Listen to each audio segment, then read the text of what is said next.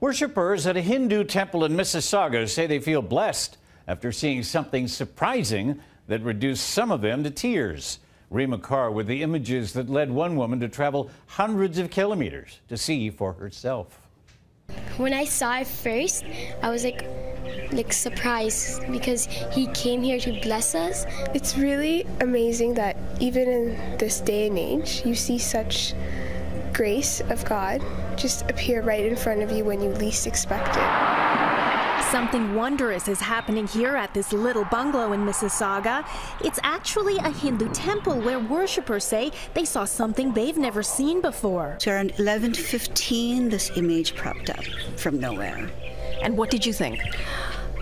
I was overwhelmed.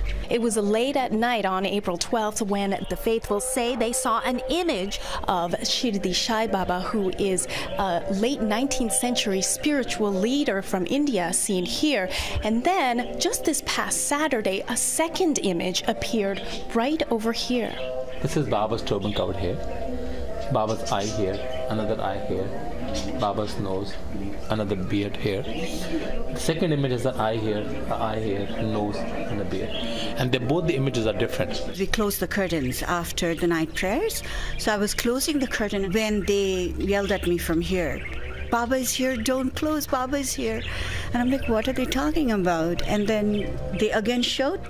And then when I saw, I just sat down and I started crying because it was so overwhelming. I can see this here. To the skeptics, the devoted say they simply just believe. We're here all the time, so we've never seen anything like this. So for it to come up so vividly and to see with our own eyes, we were overjoyed. One woman rushed all the way from Ottawa in the middle of the night when they first appeared to see it for herself. As soon as I walked in, I could see it, and I think it's a confirmation of our devotion. This image shows that you know Baba is here, listening to us what we're saying, and I think we're blessed to experience this. And temple workers have been receiving phone calls nonstop for the last few days for people who want to come and see these images at the Sai Dham Canada Temple in Mississauga, Rima Carr City News.